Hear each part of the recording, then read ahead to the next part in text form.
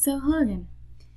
Last video we went over a introduction to flip-flops and now we're actually going to work out a problem and we're going to introduce the D flip-flop. Now the D flip-flop is going to be the easiest to use and the one where we really don't have to do that much additional work as other flip-flops such as the JK flip-flop which has a, di a more difficult truth table. So here the the symbol for a D flip-flop is very similar to the JK flip-flop and all flip-flops. It's just going to be a square and it'll work as memory. So the output Q will always be state dependent. That means that whichever state Q was in before will affect the next state it is in. So here I have the truth table for the D flip-flop and as you can see it's very simple and straightforward. If the D is 0, then q plus will become 0, and if the d is 1, the q plus will become 1. This basically means that we will have to do no changes to the q plus in order to integrate it with the d flip-flop. We are basically going to use the function q plus and input it into the d flip-flop. There is no additional change necessary. So I thought it would be a good example to start explaining how we can actually connect these to the circuits we were doing in previous videos. So let's start off with this example.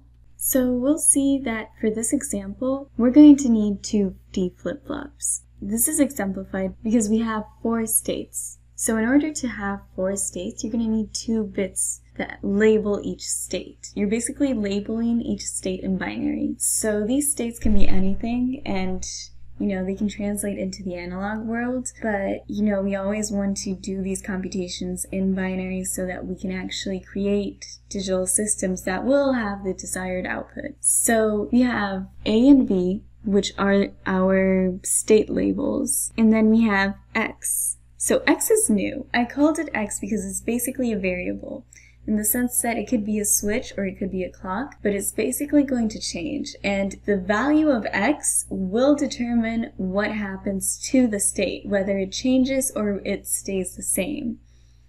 So for this example, as you can see, when x is 0, the state will stay the same. Let's look at this in more detail by paying attention to row 1. In row 1, the state begins as 0, 0, and then the value of x is 0.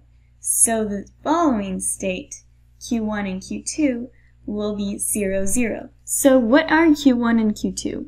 These are basically going to be the outputs of our D flip-flops. So they're going to tell us what the state that follows the value of x will be. So it's basically what value will be stored in these D flip-flops if x remains 0. I like to also refer to them as A plus and B plus because they are basically telling us what the next state will be. And once that state is reached, the new value of A and B will be what was A plus B plus in the previous kind of instant.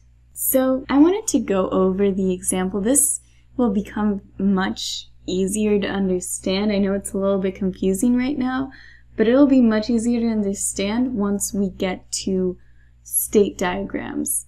State diagrams are what allow us to create these tables. If we have a certain system of, say, a security system or a vending machine, then we're going to have to simplify that system into a system of binary numbers. So we are going to have to define states, which will be our A's and B's and we're going to have to define what will happen next and what will cause that change, which will be our variable x. So once we have a visual way to represent it, it's going to make a lot more sense. But I really wanted to focus on how to integrate the D flip-flops into our circuits, which we were already covering in previous videos. Now that we have those tools, we are able to see how memory will really help us create more complex systems than a simple combination of gates. Here we have the truth table for the D flip-flop. As you can see, the D flip-flop will always follow the input of D, and it'll store that value.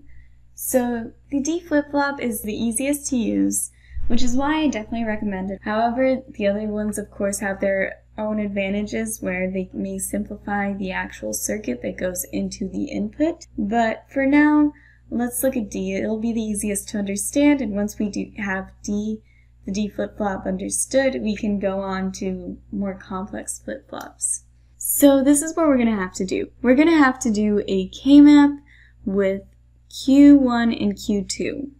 So basically, every bit that you need to define the states, so in this case we need two bits, we're going to need two D flip-flops. And, you know, you can go as many states as you want. Just keep in mind that you're going to have to do that many K-maps. So let's start with Q1. As you can see, we're going to consider X as a variable, just like we were doing before. So it's going to be a three variable K-map with A, B, and X. And if you would like to review how to do K-maps, I go over it in a lot of detail in previous videos. Always remember that the 3 and 2 are flipped. So whenever you fill out your K-map, always be careful of that. I know it takes a little while to get used to because you just want to keep on filling the order that it is given, but it's always important to start with these two rows and then skip to the last and then go back. So now we're going to go row by row and fill this out. So see how important it is to skip that row. This, if we did it the wrong way, it would drastically change our circuit, so it's something to be very, very careful with. So now that we have our ones, I would like to verify this by counting the number of ones that are on the table, just because it's very easy to kind of get lost between the zeros and ones, but we have four ones on the table and on the K-map, so we're good. And now we're going to group the ones. The first group that we can make is right down here. It's going to be the bottom group. And then we can make a group with these two ones, which are next to each other. And always remember, you cannot go diagonally for K-maps. So you cannot group these two together.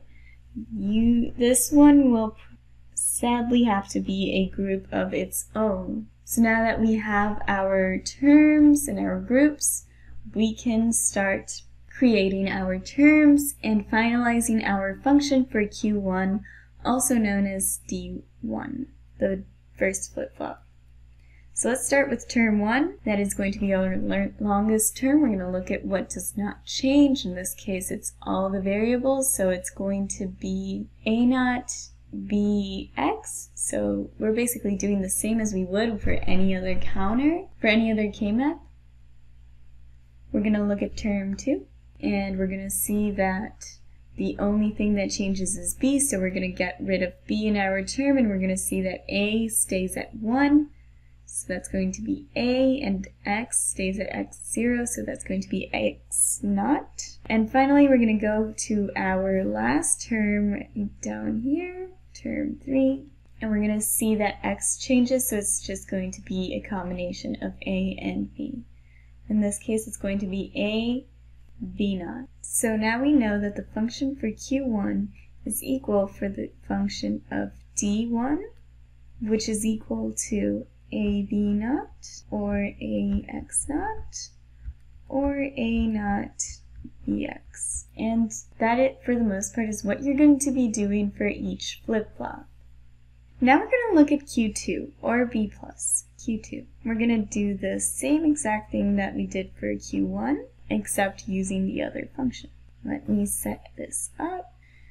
Now that I have the K-map filled, uh, again, paying attention to these two variables, which are flip, so make sure you don't get that wrong.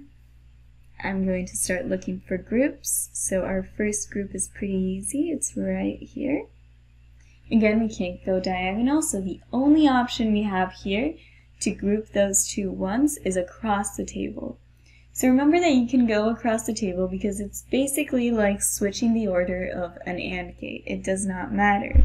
It's like when you multiply two numbers, the order won't matter. That is exemplified by going through the table, across the table. So here we are going to group the top one with the bottom one because they are sort of connected in the sense that both of them are on opposite ends of the table. Now we're going to start looking at the terms. So we're going to say that term 1 is going to be that weird looking group that goes across the table. So now we know, we look at what changes and what stays the same. We can see that A changes. So we are going to leave that out and we are going to say that term 1 is going to be equal to B naught x. And now we're going to look at the second term, and we see that the only term that changes is A again, so we're going to drop that again, and we're going to have the term bx naught. So now for our function q2, which in this case is equal to the function of d2, this will equal b naught x or bx naught. If you are paying attention to the previous videos, you should be able to see that this is the same as an XOR gate. So D2 will actually equal B XOR X. So this is really significant because something that would take three gates, as you can see here, it would be an AND gate, an OR gate, and an AND gate. Instead of having all of those gates, we're combining everything into one gate. You know, it's, it's something to definitely keep in mind, especially once you get to bigger circuits and things where the number of gates really have to be the, as minimal as possible. So this is an example where you can visualize what I was mentioning earlier, that a K-map will not help you determine if there is an XOR gate that is possible. As you can see, we used the K-map properly and we still ended up with two terms. And there, from there, we really have to be able to identify it so that we can end up with a minimal circuit for that function. So now because these are D flip-flops, what we're going to do is basically create the circuit such that these two functions are connecting to the D flip-flops as the inputs. So if you review my previous videos on how to create circuits, you can be better equipped for this, but it's basically just that. So I'm going to draw the circuit really quickly. So here, as you can see, we have the circuit that connects to the two D flip-flops. So I named the first flip-flop D1, just like I did for the variable for the function, and the second one D2. So as you can see, this will basically result in what the next state will be. If we were to connect two LEDs, these kind of represent LEDs, to the circuit, we can see what state is being stored within those D flip-flops. So as you can see, Q1 will be the representative of A, so this is going to be the most significant bit, and this will be the least significant bit. I definitely recommend that you pay attention to this because it'll help you understand how the states will work once x begins to vary. What we basically did with this circuit was a counter. We were basically saying that once x is 1, the state of A and B will change to a different state. There is one last thing that we have to do to this circuit for it to be complete. In order to do so, I'll move some variables around. So just one second. Okay, so I moved the variables around because basically what we're saying is that the output will become the input later on. So what we need to do is connect the output, the output of these D flip-flops back into our A's and B's. Because what is the output is going to be the next state of A and B. So basically when the output changes, A and B has to change as well. It is going to be the same value. And as I mentioned in the table, each flip-flop will represent and store the value of each bit that will label the state that we want and that we are in. That's basically what is different for D flip-flops. All we're going to do is basically connect the output to the input and create a function of those inputs and along with the switch variable so that we can create a desired output of values stored. The LEDs can also be connected to it so that we can see and have an actual output that is tangible and, you know, So that is mostly how to do a D flip-flop circuit.